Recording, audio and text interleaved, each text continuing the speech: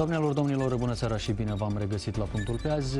Exact un an în urmă, președintele Igor Dodon refuza pentru a doua oară candidatura lui Eugen Sturza la șefia apărării. Astăzi însă, la o distanță de un an de zile, Igor Dodon se află în fața unei situații aproape similare, deoarece astăzi, după ce a acceptat demisia a încă doi miniștri din guvernul Filip, Dodon urmează să decidă dacă acceptă sau nu candidaturile propuse pentru cele două fotolii rămase goale la agricultură și sănătate.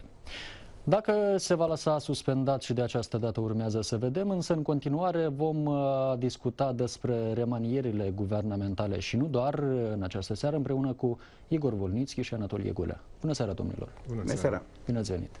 Bine v-am găsit!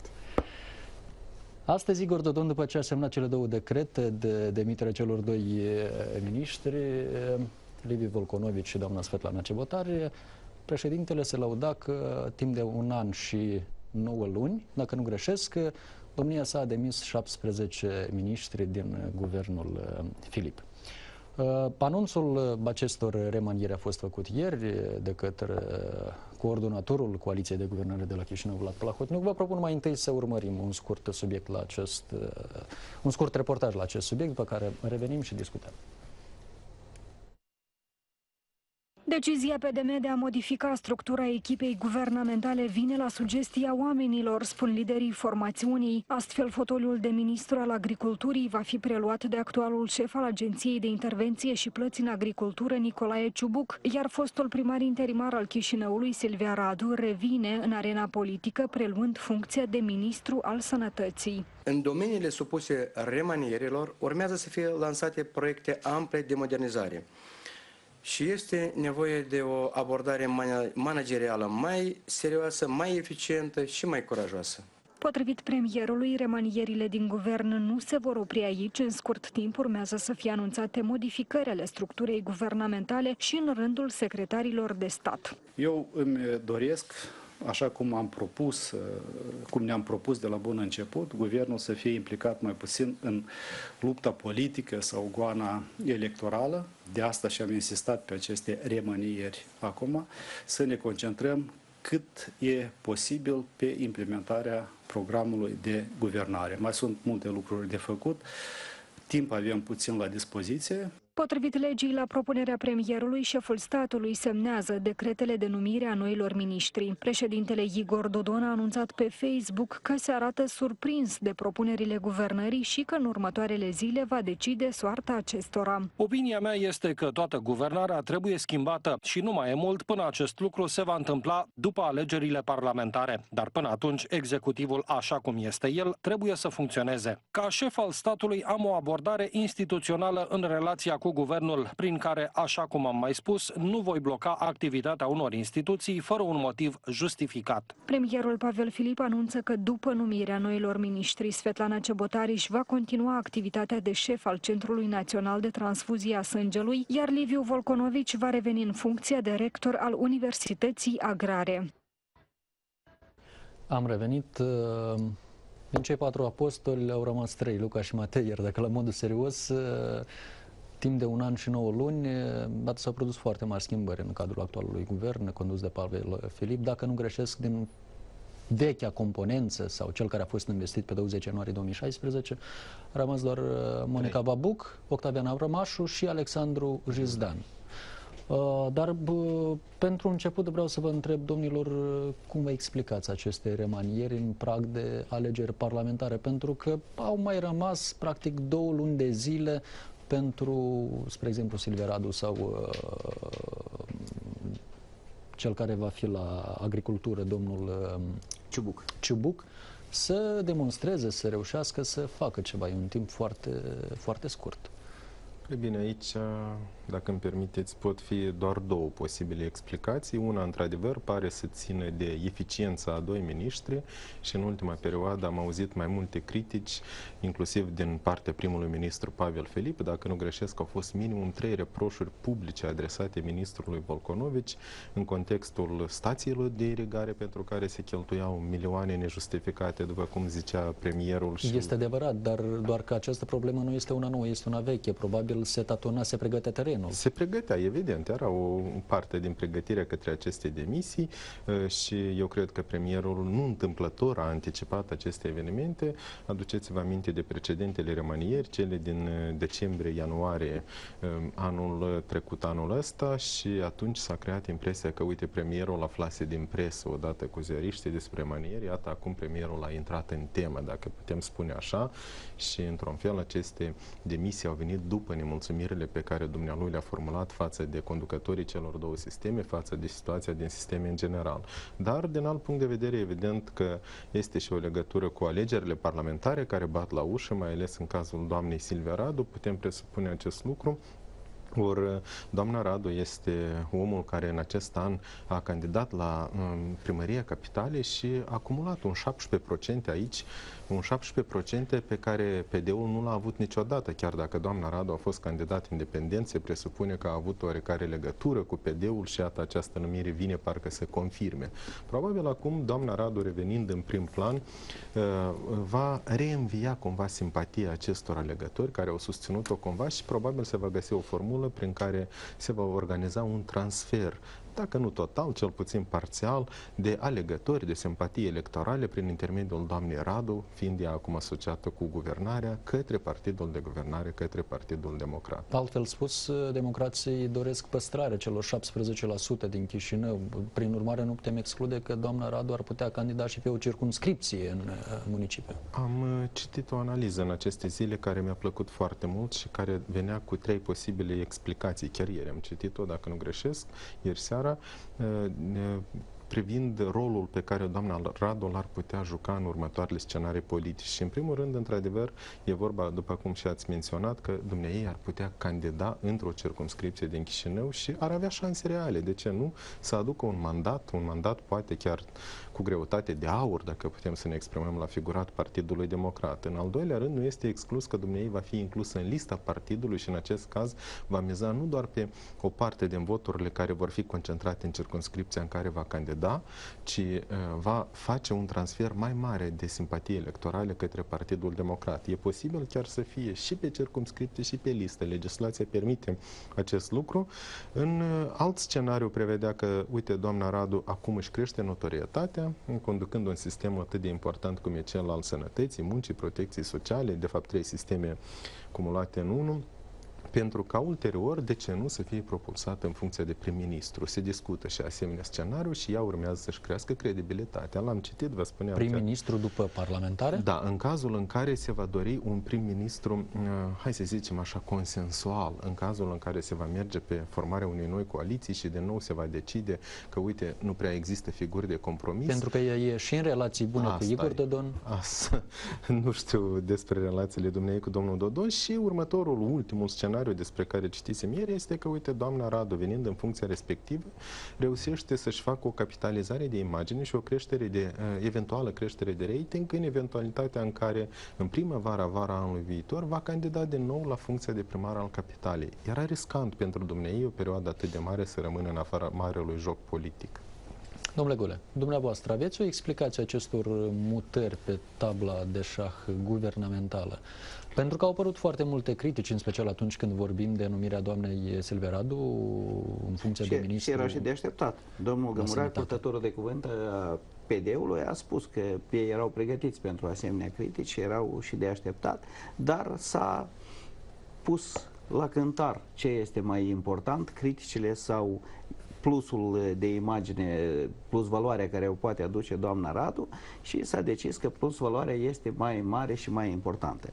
Pe de o parte. Pe de altă parte, e, sigur că tot ce se face actualmente, după ce a fost stabilită data alegerilor, totul se face în contextul alegerilor. Fiecare Fiecare partid, e și normal, se gândește la viitoarele alegeri și Partidul Democrat nu este o excepție. Dar, în același timp, se dorește, într-adevăr, eficientizarea activității guvernului. Într-un fel, Partidul Democrat, prin aceste remanieri, recunoaște că remanierele care au fost făcute în decembrie-ianuarie au fost nereușite. Eu mă așteptam chiar la mai mult, mă așteptam că vor fi demiși și alți miniștri. Spre exemplu, au fost reproșuri foarte mari și în adresa conducerii de la Serviciul Vamal.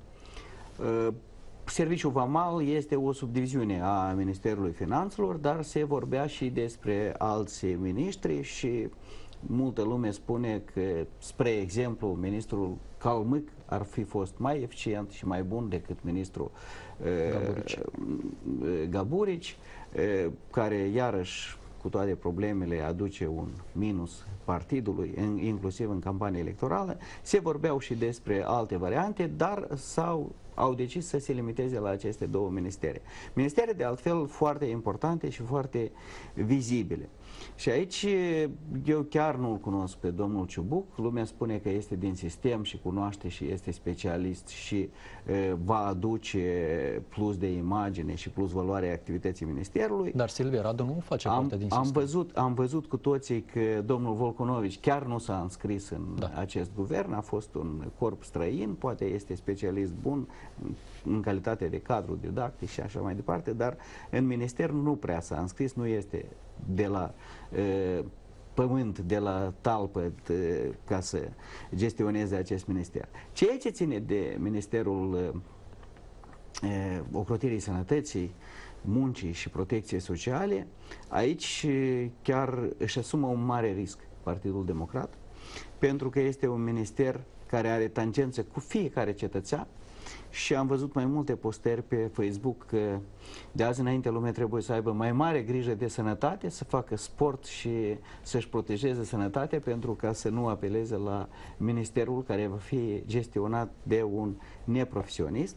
Dar și uh, anterior la fel, Ministerul Educației a fost condus de Maia Sandu, care la fel nu da, era am văzut, parte am văzut și, și acestui eu, domeniu. Aceste, Valeriu Munteanu la mediu, la fel, comentarii. nu era noi, expert profesionist în Noi mediu. am văzut ce a făcut doamna Radu la primărie am văzut maniera ei de a fi șefă, de a gestiona foarte dur structurile. Și în primărie este acceptabilă o asemenea, pentru că în primărie toată lumea știe, toți care s-au adresat, știe că acolo înforește corupția în toate departamentele.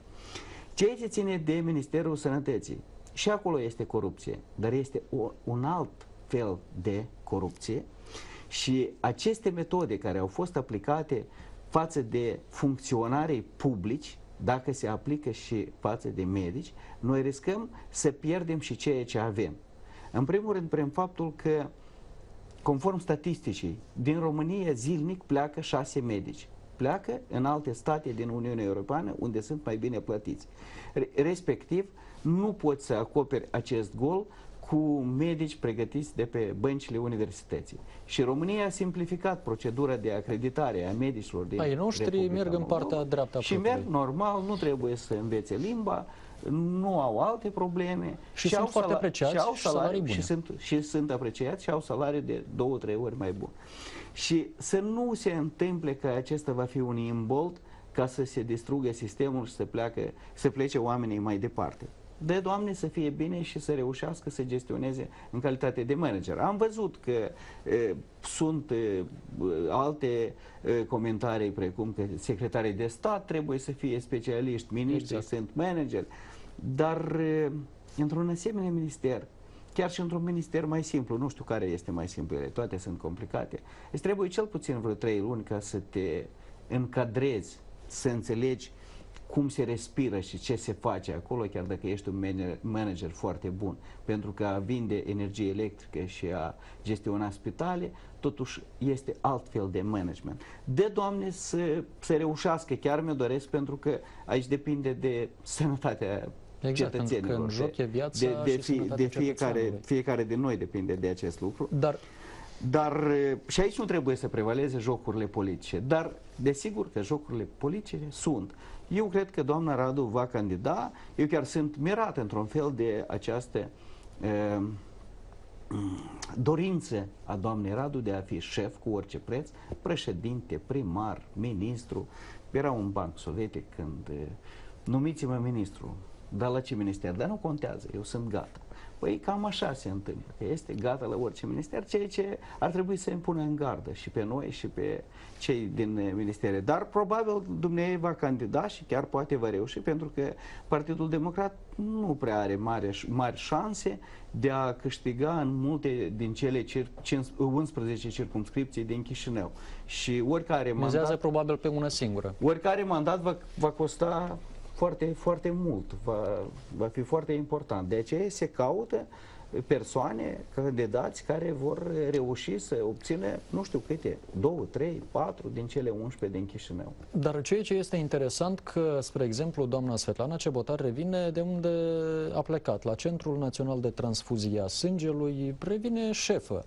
Aici apare o întrebare. Cel puțin mie mi se creează impresia că nu s-a organizat concurs pentru suplinirea postului vacant, deoarece s-ar fi știut din timp, din momentul în care doamna Cebotoare a acceptat funcția de ministru, s-ar fi știut din timp exact perioada de mandat. Prin urmare, vă întreb, domnilor, oare uh, toate aceste remanieri nu sunt unele de carton este adevărat, dar la fel de adevărat este că, din păcate, a devenit o practică ca mulți dintre cei care ajung în funcția de ministru să, uh, să-și suspende activitatea din funcția precedentă. Este chiar și o condiție, din câte știu eu, pe care ei o înaintează celor care îi propun la funcțiile respective. Noi am mai avut asemenea cazuri, am avut, iată, dacă vorbim de sistemul sănătății, am avut minimum doi miniștri care au condus instituții de primă importanță în domeniul respectiv și care și și-au suspendat Domnul pe... Buga și... Păi am avut și domnul Usată, care Domnul era Usate, șef la Spitalul Republican, dacă nu greșesc, pe timpul guvernării comuniste, dar s-ar putea aici să greșesc, dar din câte mi-amintesc și doamna Catrinici a fost exact în aceeași situație, adică e o practică. Nu este exclus că astfel acești oameni care acceptă o funcție riscantă din punct de vedere politic să-și securizeze puțin cariera din continuare, să aibă o portiță de ieșire, să aibă cât de cât spate spatele asigurat folosind o formulă așa mai um, să zicem așa, din popor, dar, din păcate, nu e o practică sănătoasă, pentru că, în acest caz, ministrul nu ține cu tot din adinsul la mandatul său, nu luptă până la capăt, nu încearcă, știind că are spatele asigurat, nu încearcă să dea tot ce are mai bun. Zice, nu va merge, mă întorc la fostul uh, loc de lucru și atunci toate revin la scenariul de până acum. E o practică care e raportată și la alți membri ai guvernului. Eu personal cunosc uh, miniștri din precedenta care au fost uh, au, în exercițiu funcții până la precedenta remaniere, care de asemenea și-au suspendat pe durata aflării în funcție de membru al guvernului, ministru, vicepremier, calitatea avut anterior. E o problemă care trebuie reglementată legislativ.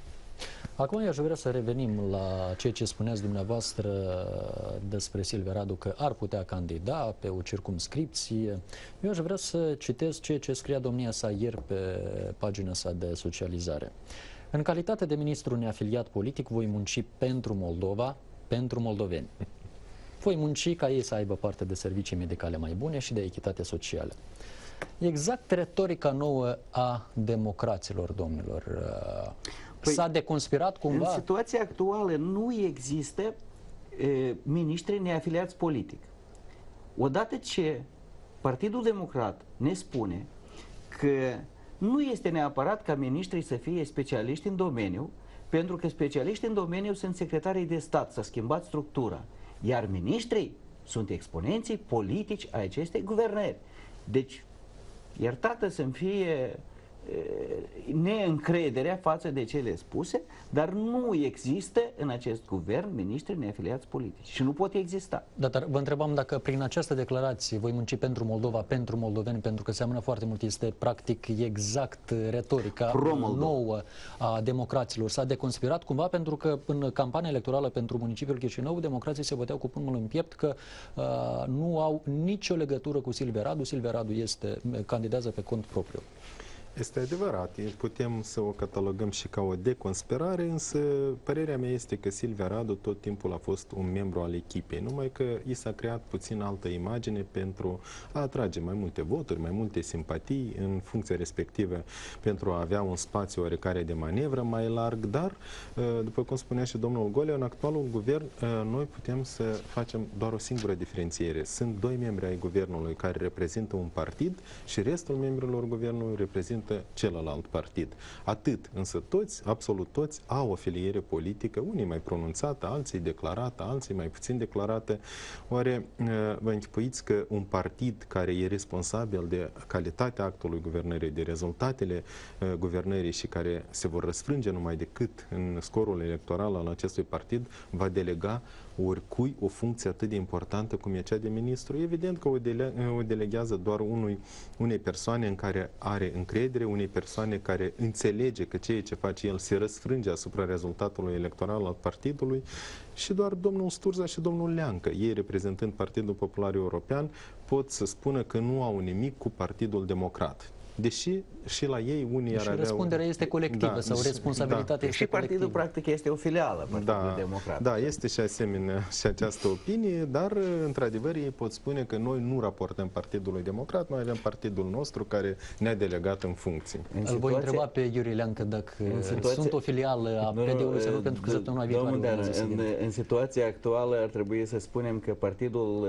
Popular European este aripa pro-europeană a Partidului Democrat, care este pro-Moldova Moldova, dar este o aripă așa mai de dreaptă pro-europeană. Apropo, eu mă așteptam ieri că va fi demis și domnul Leancă. Sau, Multe lume se aștepta. Da, da, sau că își va prezenta demisia în momentul în care partidul de guvernare, partidul care de fapt reprezintă întreaga putere în Republica Moldova, a declarat vineri că nu mai este un partid pro-european, ci un partid pro-Moldova, care e sensul să ții în funcție un vicepremier responsabil de integrare euro europeană. Cu atât mai mult că în acest an 2018, în care domnul Leancă este în funcția respectivă, relațiile moldo-comunitare au degradat continuu. Nu au fost relațiile noastre cu Uniunea Europeană atât de proaste niciodată, nici măcar pe timpul guvernării comuniste. Și era și logic să ne așteptăm că va urma fie demisia de onoare a domnului Leancă. Eu chiar mă gândeam la un moment dat că ei vor face acest pas și se vor uh, îndepărta puțin de către actuala guvernare, încercând în următoarele alegeri parlamentare să se prezinte în altă postură, cea de partid de opoziție, cea de partid care luptă pentru integrare europeană și uite, în momentul în care au văzut că uh, PD-ul nu mai vrea să fie un partid pro-european, ei au zis, noi nu mai avem nevoie de o asemenea coaliție cu voi, la orice mă așteptam, însă nimic nu a urmat. Da, dar chiar credeți că prin, această, prin adoptarea acestei noi retorici, domnule Golea, PD-ul uh, a renunțat la vectorul european? Pentru că, uh, bine, am observat, am sesizat cel puțin din discursul lui Vlad Plahotniuc că, că acest, această sintagmă de integrare europeană a fost uh, înlocuită cu, cu altă sintagmă, modernizare după model occidental. Această nouă retorică reprezintă o simplă poziționare în prag de alegeri sau totuși democrații și-au schimbat strategia strategia, vectorul uh, la 180 de grade. Pentru că, iarăși, sunt interpretări diferite. Da, aici este, este mult de discutat la acest uh, subiect, la acest capitol. Uh, democrației, bun, domnul Plahotniuc nu răspunde la întrebări și putem doar să ghicim, să presupunem ce a avut în vedere și ce a spus și ce înseamnă modernizare conform standardelor, standardelor occidentale. Am mai auzit aceste formule apropo. În 2009 pe CRM construim Europa da, la noi acasă. la noi acasă și modernizare și modernizare europeană. Domnul Voronin a spus de zeci de ori că atunci când este întrebat de ce în documentele statutare ale partidului este scris integrare europeană, dânsul spune nu este integrare europeană, este modernizarea conform standardelor europeane, europene. Deci, joc de cuvinte, de fapt. Și Igor Dodon, la fel, în, într-o postare destul de recentă, cu vreo lună în urmă, a spus că trebuie să construim Europa la noi acasă. Deci, vedem că mesajele se apropie. Mesajele Mes coincid. Mesajele, da, se apropie. Dacă nu chiar coincid, se apropie.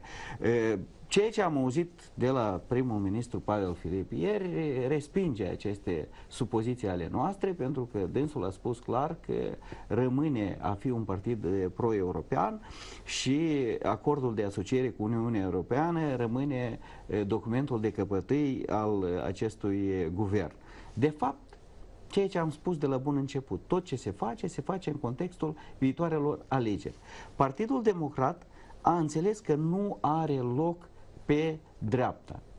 Tradițional la noi dreapta este pro-europeană, stânga este pro Deși pro lucrurile stau cu totul Deși altfel lucrurile stau în lume, stau, lucrurile stau puțin altfel, avansate, la da. noi așa este. Și dânsii au înțeles că cu mesajul pro-european nu au șansă de a accede în Parlament. Deci chiar. PD-ul nu face concurență, nu face față concurenței de pe acest ieșichier politic, Da, pe acest pe de o segment. parte, pe de altă parte, PD-ul a înțeles că nu are, categoric nu are susținere din partea partidelor europene, cu excepția câtorva socialdemocrați din eh, Parlamentul European și din eh, România, atât doar. Asta nu aduce eh, contextul necesar eh, electoral, de aceea, dânsii, după 9 ani de guvernare împreună cu partidele de dreapta și s-au mutat mult, mult, prea mult spre dreapta, acum încearcă să revină la origini, după cum spuneam, încearcă să, să-și găsească loc pe stânga și chiar centru stânga, să mizeze pe acel electorat eh, moldovenist sănătos, să, să-i zicem, eh, care nu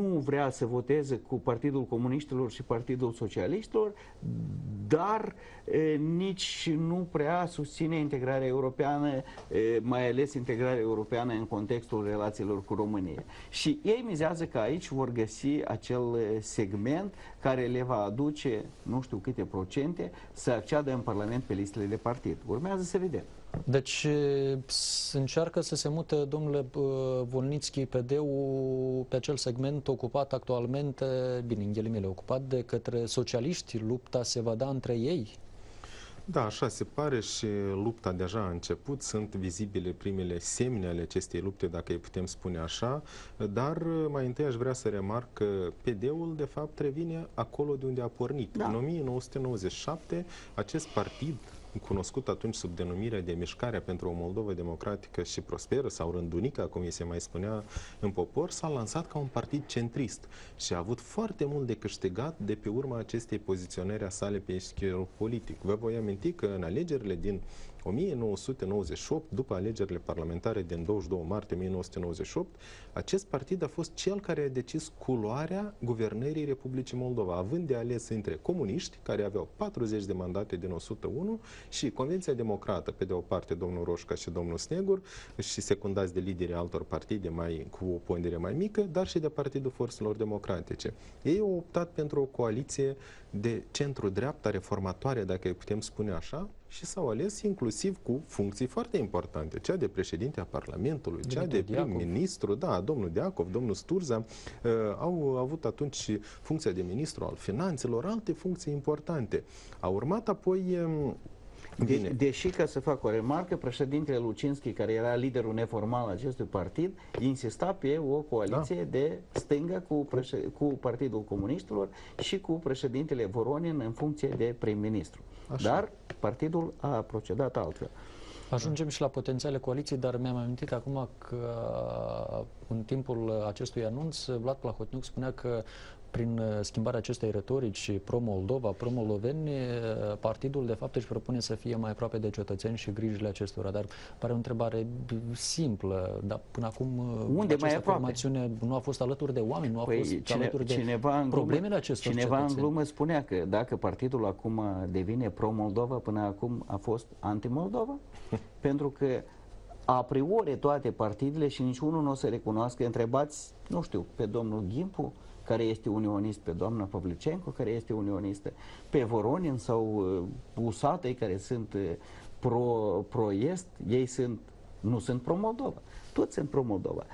Partidul Democrat, în opinia mea, are o mare problemă. E, nu-și găsește identitatea. Și atunci când s-a mutat spre dreapta, când a făcut coaliție, nu știu dacă dreapta, am spus că nu, nu este atât de categoric și atât de strict la noi dreapta-stânga, atunci când a intrat în coalițiile pro-europene, începând cu 2009, s-a mutat spre doctrina acestor partide. Și astăzi a apărut o mare dilemă. Noi vedem în cadrul Partidului Democrat lideri cu opinii contradictorii, contrar diferite. Domnul Andrean Candu, care este prim vicepreședinte partidului, persoană publică spre deosebire de liderul partidului, răspunde la întrebări și spune că este pentru relații foarte bune cu România, că este român, că vorbește limba română și vrea integrare europeană, inclusiv prin România, ne vorbind numai despre unire, numai cuvântul unire nu pronunță. În același timp, un alt lider, Marian Lupu, care este președinte fracțiunii Partidului Democrat, spune că noi suntem moldoveni, limba este moldovenească și nici nu vrem să auzim despre discuții ce țin de e, modificarea articolului 13 din Constituție și introducerea limbii române. Deci aceste declarații și așa cam în, în cadrul partidului, cam, nu știu, 50 la 50 sau care este raportul de forțe, dar sunt doctrine care se bat cap în cap, de fapt, în condițiile Republicii Moldova. Nu este normal, nu trebuie să discutăm atâta despre limbă și identitate, dar avem ce avem. Este necesar să punem o punct odată și pentru totdeauna da, acestui dar nu, subiect. nu, se, nu se reușește. Și în cadrul partidului aceste discuții sunt la fel ca și în societate. Și dacă este normal ca să fie contradicție între Partidul Socialiștilor și Partidul Liberal, atunci în cadrul eh, partidului știți cum eh, zice, atunci când într-un cap sunt prea multe multe idei contradictorii, miroase a, a schizofrenie. Ne putem aștepta că la situații similare cum există, spre exemplu, astăzi în România, în cadrul uh, PSD-ului pe interior, ați văzut ce astăzi exact. este o scrisoare prin care câțiva lideri importanți din cadrul PSD-ului cer solicită demisia lui. Și aici este foarte interesant la ce vroiam să ajung. Este foarte interesant cum se va proceda cu modificarea Constituției și introducerea în Constituție a cursului european în calitate de e, obiectiv strategic al Republicii Moldova. E, mie mi se creează impresia că Partidul Democrat cu bună știință vrea să renunțe la această modificare, fiind deteriorate relațiile cu Uniunea Europeană, pentru Partidul Democrat nu mai are sens introducerea în Constituție, în plină campanie electorală, acestui deziderat. Dar vrea ca vina pentru aceasta să revină partidelor Partidului Liberal, Partidului Liberal-Democrat, ce a mai rămas în Parlament, pentru că partidele de dreaptă condiționează. Noi vom susține introducerea cursului european dacă voi veți, veți susține modificarea, modificarea articolului, articolului 13. 13. Exact. Și acum vrea să se dea vina pe Uite, noi am vrut să introducem în Constituție curs, cursul european, dar vedeți liberalii și liberal-democrații, ei doar se declară europeni, dar de fapt nu susțin acest lucru. Spuneți dumneavoastră, domnule Golea, că există foarte multe asemănări între mesajul uh, Uh, sau retorica promovată de PSRM prin Igor Dodon sau promovat de Igor Dodon uh, și cel al Partidului Democrat, mă refer la, acest, uh, la această abordare pro-Moldova, să construim Europa la noi acasă și așa mai departe. Domnule Volnitski, credeți că de pe acum se creează premize pentru o eventuală coaliție post-electorală între PD și PSRM? Nu știu dacă pot, putem pune aici și Partidul Lășor, e un caz aparte, pentru că și această formațiune promovează mesaje similare. Cu siguranță, însă pasul făcut de PD trebuie privit eh, din două puncte de vedere. Pro-Moldova, inițial, pe ei urmează să-i ajute să obțină cât mai mulți alegători, cât mai multe voturi în, în apropiatele alegeri și pentru aceasta ei au nevoie să împingă cât mai mult spre extrema stângă socialiștii și cu siguranță o vor face. Ziceam că deja sunt primele semne că ei au început să lucreze pe la spate, dacă îmi permiteți această expresie pe socialiști. S-a văzut multe acțiuni de sabotare, spre exemplu, uh, chiar și acest congres mondial al familiilor care a avut loc la Chișinău în premieră la inițiativa președintelui Dodon, uh, a coincis în mod straniu pentru analiști politici, clar că nu e nimic straniu, cu anunțul făcut de democrați vineri seara. S-a dorit, uh, evident, o diminuare a rolului aceste, acestui eveniment, a ponderei lui în programele de știri și așa mai departe și așa mai departe. Sau uh, ceea ce s-a întâmplat, maniera cum s-a procedat în raport cu cu, vizita, cu întrevederea dintre Dodon și Krasnoselski. Iarăși s-a văzut un efort al guvernării de a diminuat din eficiența acestea. Sau uh, cazul mult discutat cu profesorii de la liceul Moldoturc. Pe mine, spre exemplu, m-a intrigat ceea ce spunea, dacă nu greșesc eu, paznicul de la liceu, care zicea că ofițerii SIS, atenție, e ceva de râsul găinilor, strigau acolo că suntem oamenii președintelui. Când ofițerii SIS, era clar că se încearcă, uh, uh, se încearcă schimbarea accentelor. Asta la cea de lungă, la cea da, de lungă. La, la cea de lungă. Și uh, iată toate acestea, eu mi-am amintit acum doar foarte rapid de trei exemple, toate acestea arată că uh, Igor Dodon și PSRM-ul e lucrat pe la spate de către democrați. Probabil ei o fac anume cu scopul de ai împinge cât mai mult spre stânga, de a le șterbi din rating și așa mai departe, pentru că, cum spunea și domnul Golea, democrația au înțeles că pe segmentul pro-european nu prea au ce culege și ei își creează o nouă nișă electorală. Spunea Sergiu Mocanu, mă iertați vă rog da. spunea și Sergiu Mocanu că PD sau Vlad Plahotniuc că ar pregăti un atac Raider asupra PSRM-ului. Ne putem aștepta la orice în lunile următoare și pe mine nu, nu vă, vă mira dacă uh, socialiștii vor fi protagoniștii unor scandaluri cu care oficial PD-ul nu va avea nimic, maxim vor avea ceva de discutat cu socialiștii, anumite instituții ale statului, dacă vor apărea anumite materiale și aici, aici ziceam că e vorba de două mize ale Partidului Democrat prin acest mesaj, prin această poziționare pro-Moldova. Prima, să obțină cât mai multe voturi împingându-l pe Igor Dodonș și pe socialiști spre stânga. Și iar să nu permite PSRM-ului să obțină 51 de mandate. Da, asta e. Iar la a doua etapă, platforma pro-Moldova, de ce nu eventual ar deschide un spațiu de negocieri post-electorale cu partidele de stânga și cu aceiași socialiști. Adică e o miză dublă se ascunde în spatele acestei poziționări pro-Moldova da, dar e un joc la două capete. Sigur, nu dar e periculos. Dar în 2010 și cum a fost? Apropo, vreau să ne aducem aminte și de da. acel episod din 2010, pentru că Narâștin a plecat Narâștin, cu da. buza umflată păi, la Moscova. Noi avem cam un deja vu acum. Din ceea ce vedem, se pregătește același lucru. Când Partidul Democrat se vrea este clar că Partidul Democrat nu va avea majoritate în Parlament. Da, dar atunci deci, a promis ce? rușilor, au promis rușilor democrații că fac Coaliție o alianță cu stânga, cu stânga cu doar că și au, Până în ultimul moment au făcut alianță cu partidele dus, de dreapta. Și au de această dată... negocieri la cuțit, la limite, până în ultimul moment, și cu stânga și cu dreapta. Și acum se pregătește, de fapt, terenul pentru același lucru. Pe, scenariul păi de dorit... această dată ne putem aștepta că nu rușii vor fi trași pe sfoară, dar Occidentul? Nu se știe. Scenariul dorit de Partidul Democrat este ca ei să aibă să zicem 20-25 de mandate decisive. Pe o parte să fie stânga cu 30-35, pe de altă parte dreapta cu 20-25.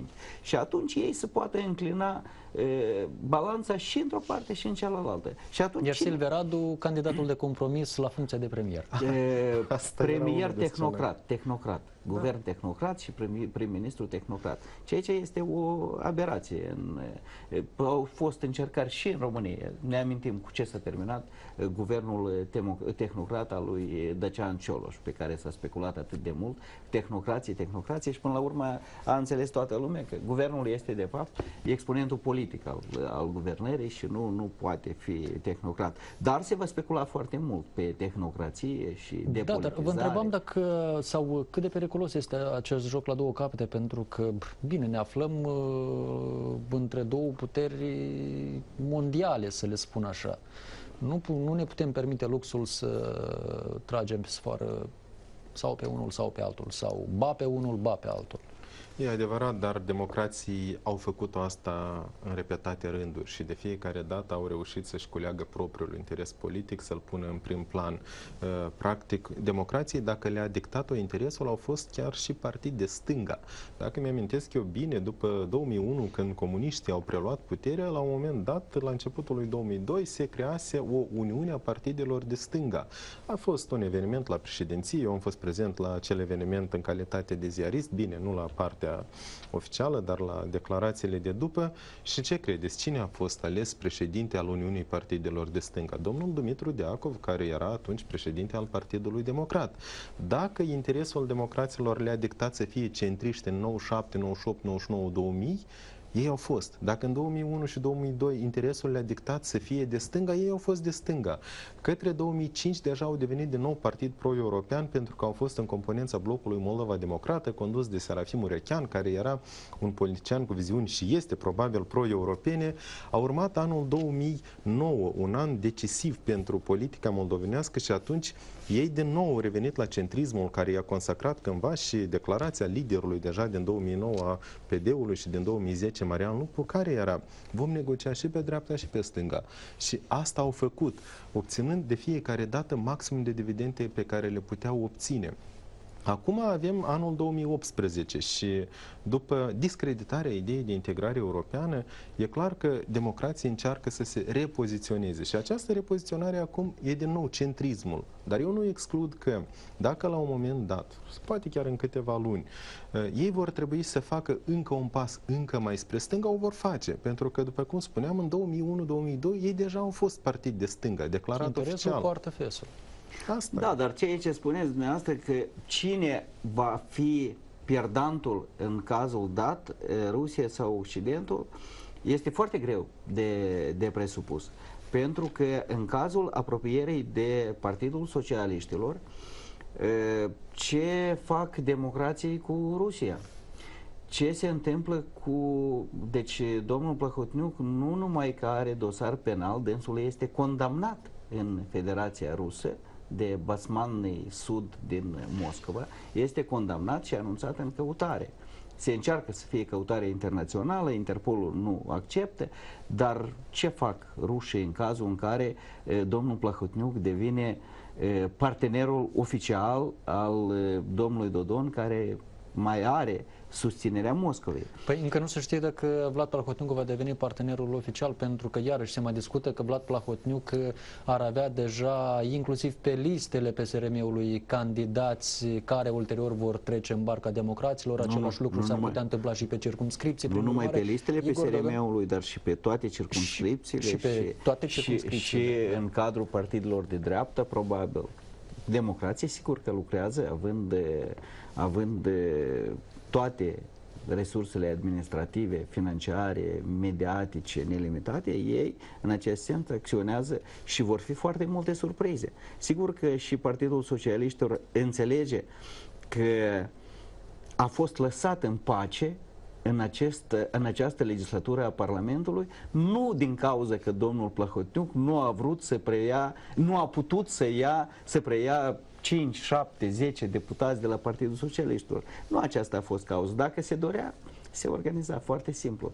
Dar a fost lăsat pentru desert, pentru următoarea, următoarea legislatură. Dar și aici este importantă și poziția Moscovei, care îl va proteja pe e, Igor Dodon și socialiști, inclusiv de el îi va proteja de Partidul Democrat. Nu știu cum vă face. Sau poate Rusia este prea implicată în alte proiecte geopolitice, Siria, Ucraina și aceasta este o salvare într-un fel pentru Moldova. Bine, urmează să vedem, dar uh, până atunci uh, vreau să vă întreb dacă totuși uh, admiteți următoarea ipoteză ca data alegerilor să fie transferată pentru luna decembrie, spre exemplu, pentru că, iarăși, acest lucru ar fi doar în avantajul PD-ului, pentru că, în primul rând, prinde pe picior greșit uh, opoziția, așa zis, pro-europeană, ei încă mai sunt în căutarea candidaților pe circumscripții, mai duc negocieri, discuții, mă rog, ca de obicei. Și, în al doilea rând, uh, nu ar fi favorabil uh, la sfârșit de iarnă să fie organizate alegeri, nu ar fi favorabil pentru guvernare, pentru că oamenii mă rog, din iarnă cam greu iese și înrăiți oamenii. Așa e, cu atât mai mult și asocierile istorice nu sunt favorabile exact. guvernării, că am mai avut un februarie, 20 februarie, 5, 25, februarie 2001, 2001 dar uh, de la ce au pornit democrații? Chiar dacă nu au declarat oficial acest lucru, e clar că anume acesta a fost argumentul de bază atunci când au fixat alegerile pentru februarie 2019. De la acele proteste pe care opoziția pro-europeană le-a anunțat drept masive pentru finele lui august, mai ales că opoziția pro-europeană nu excludea că ele ar putea trece în proteste permanente. Aceasta ar fi însemnat că opoziția pro-europeană intra în alegeri, dacă ele ar fi avut loc în toamnă sau în noiembrie, începutul lui decembrie, intra în alegeri pe valul unor proteste masive. Evident că în acest caz regulile de joc și starea de spirit ar fi fost dictată de opoziția pro-europeană. Democrații au înțeles acest lucru și au încercat să, să o întindă cât mai mult în speranța că aceste proteste cumva se vor diminua cumva uh, între timp vor mai apărea careva disensiuni între liderii partidelor pro-europene. Iată că acum, după protestul din 26 august, care, apropo, în opinia mea a fost unul impresionant în condițiile actuale ale Republicii Moldova, dar uh, democrații au văzut uh, că nu e chiar atât de rău. Probabil ei se așteptau la mai rău.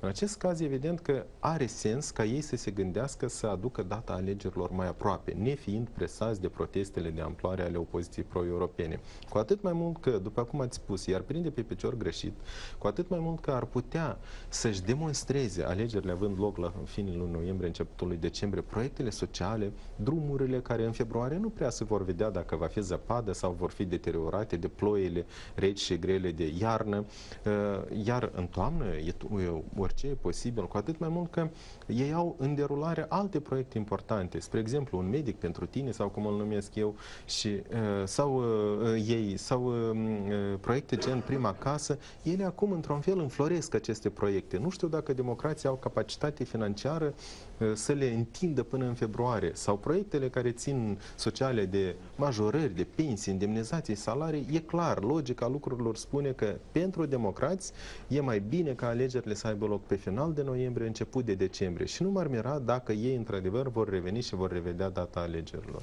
Eu nu cred.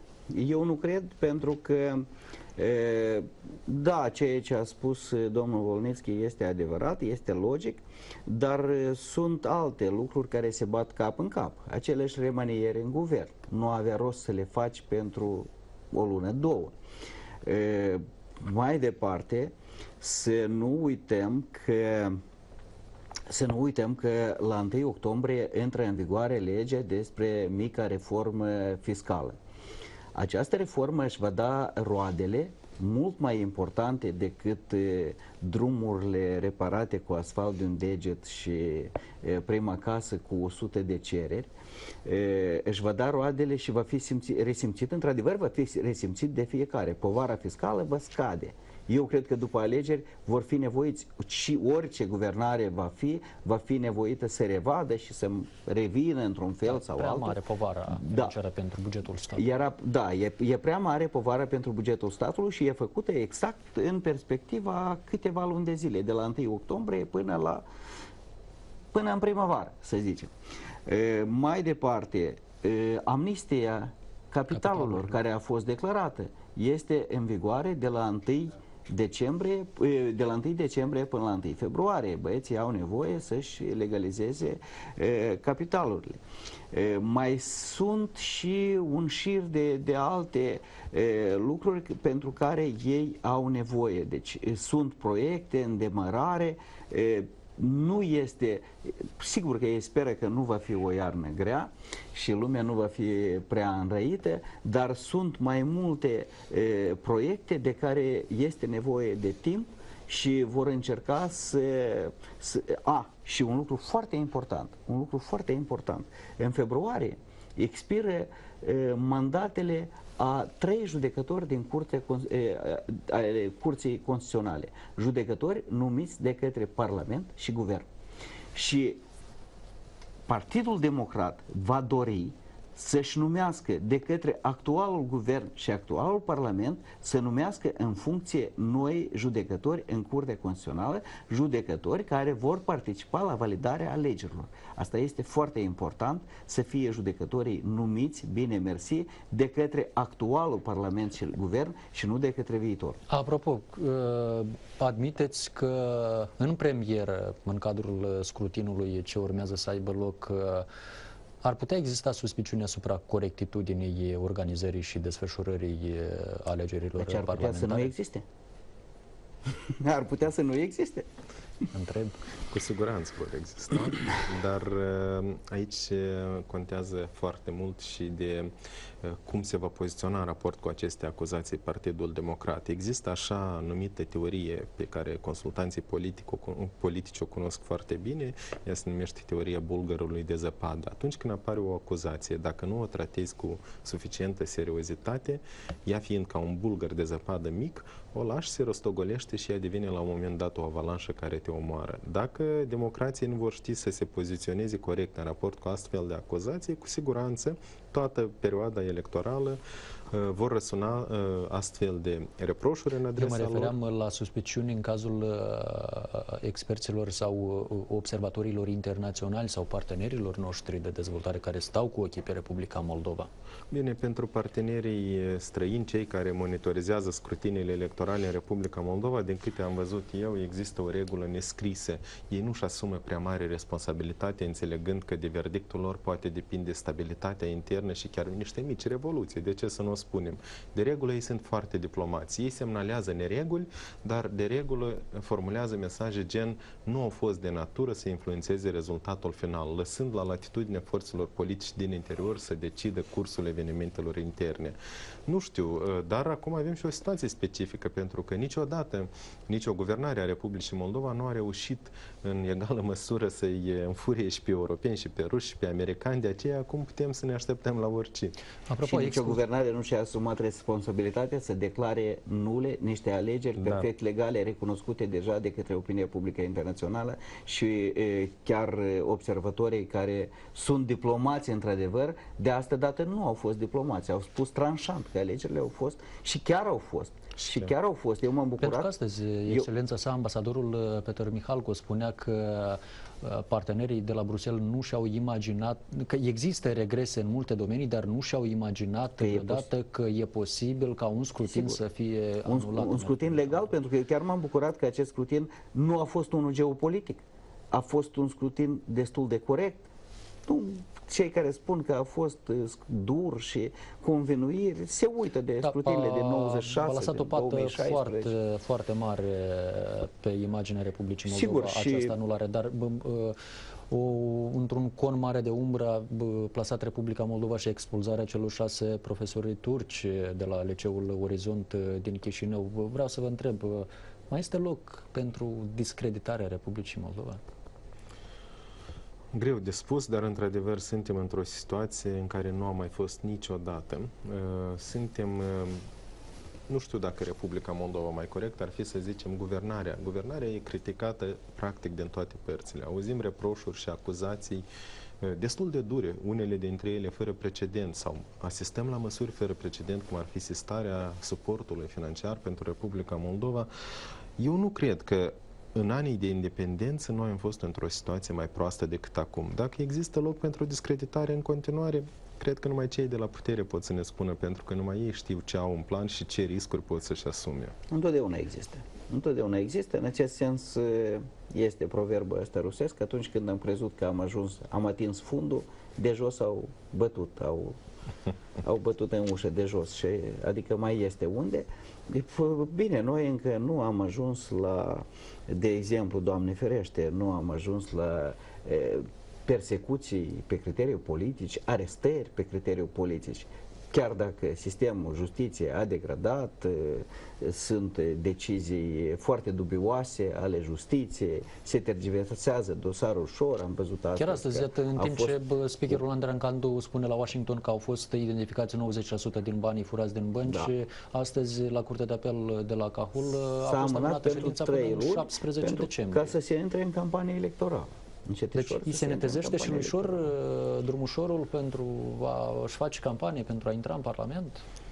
Cert este că proiectul politic al domnului Șor probabil a dat rezultate nesperat de bune pentru cei de la guvernare, ori domnul Șor se poziționează pe stânga și într-un fel el va plafona rezultatul domnului Dodon. Va reuși să ia câteva mandate care Un fel de spoiler, așa cum se spune la noi. El, va fi pro Moldova, evident. Da, da, adică uh, importanța domnului, în proiectului domnului Șor pentru cei de la guvernare, că au ceva cu el, că nu au, dar este mare. Uh, el într-adevăr poate juca un rol important important. Dacă ne aducem aminte, în 2009 s-a ajuns că soarta politică a țării a fost decisă de un singur mandat. Iată, în cazul de față, că în lupta politică va fi una foarte cruntă, un 3, un 4 mandate pe care le-ar putea aduce domnul Șor, ar putea să cântărească enorm. Pentru că nu este suficient să câștige alegerile, pentru că și Voronin a avut 60 de mandate, dar a pierdut puterea. Și aceste, mm. și aceste câteva mandate, eu cred chiar mai mult decât 3-4, vor, vor fi luate de la Partidul Socialiștilor. Asta și, e acest, mai și aceste mandate vor fi e,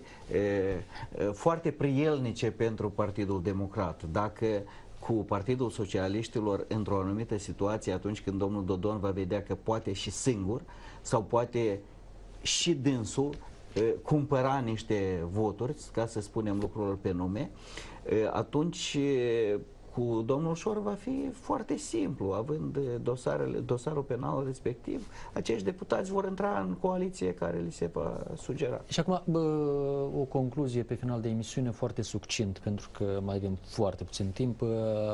Din ceea ce am discutat, senzația dumneavoastră și din ceea ce se întâmplă pe arena politică din Republica Moldova, balanța, în ce direcție înclină după parlamentare? O bă, coaliție de centru-stângă sau una de centru-dreapta?